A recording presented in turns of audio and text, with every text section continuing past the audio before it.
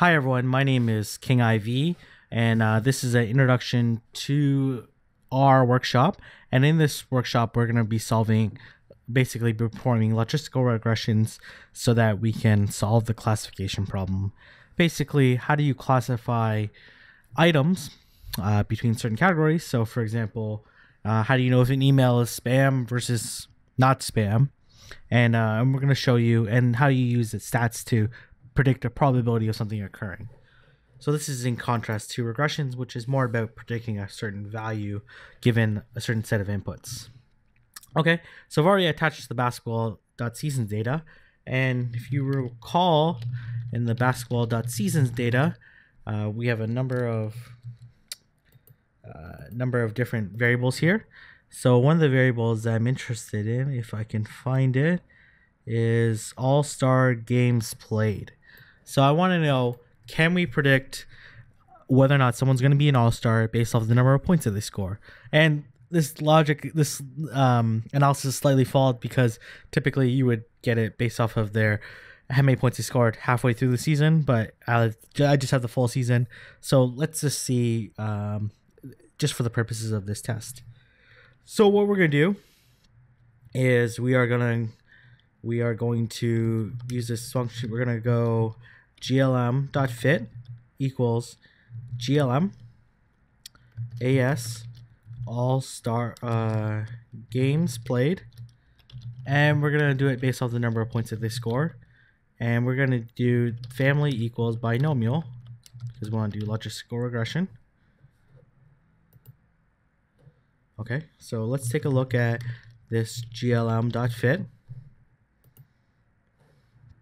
Okay, so when we take a look at this, uh, we will see that it is the null hypothesis is rejected uh, because it does have a high z value and and a very small probability that it's going to be uh, zero. So it's good. So it beats the null hypothesis. Uh, and we'll see how successful it is actually predicting the results.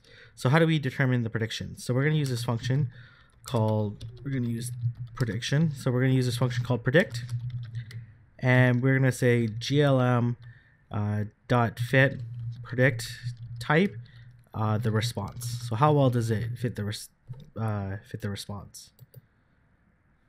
Okay, so let's take a look at what that looks like. So I'm gonna go.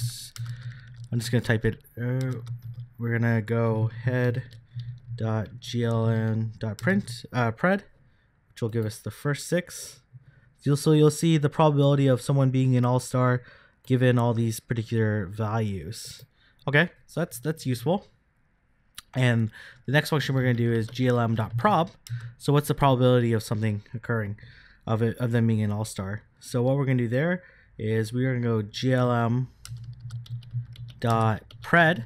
If it's greater than 50%, let's say that they are an all-star. So let's go um, 1 if they are an all-star, which means they played in the game. Actually, one, otherwise zero.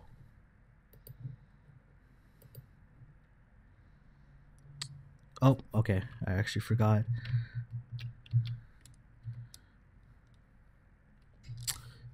Sorry.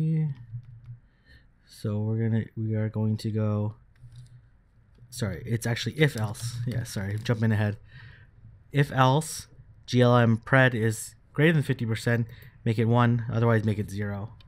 And how are you how are you gonna determine whether or not I actually did it correctly? So we're gonna use this function called table.glm.pred and so basically it's gonna create a matrix, hopefully a two by two one. Oh nope, not pred. Uh, probability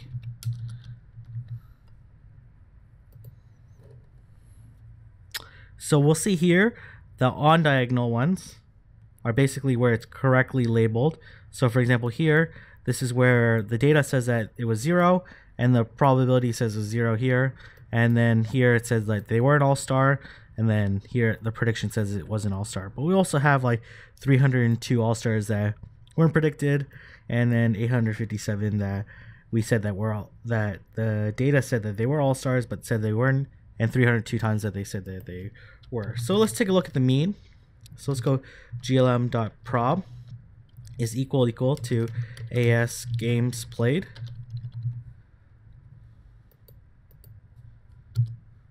So uh, 95% uh, probability. Also, majority of players are not um, all stars, so you may want to penalize the mistakes uh, more often. So you'll see that we actually misclassified a good portion of the people that were all stars as not all stars.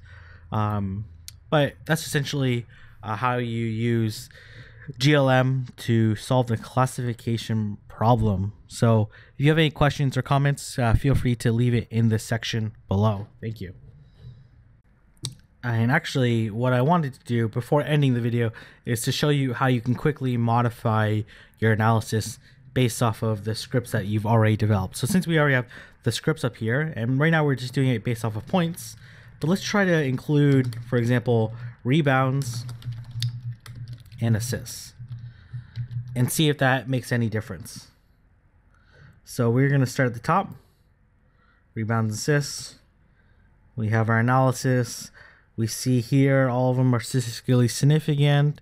Okay, let's see how I'll end up predicting our results. So we see the various analysis there. We do the probability, we do the analysis.